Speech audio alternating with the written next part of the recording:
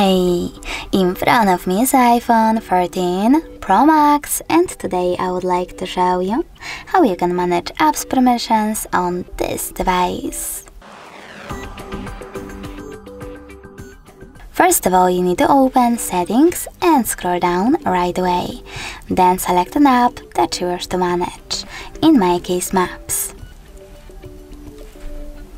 After that, you need to click on one of those options under Allow Maps to Access section. I will go with Location and tap on one of those. Never ask next time or when I share or while using the app. I will go with never so I have to click on this option here and tap on the back button. As you can see after that, Maps no longer have access to my device's location. Thanks so much for watching. If you enjoyed this video, leave a like, comment and subscribe. Bye!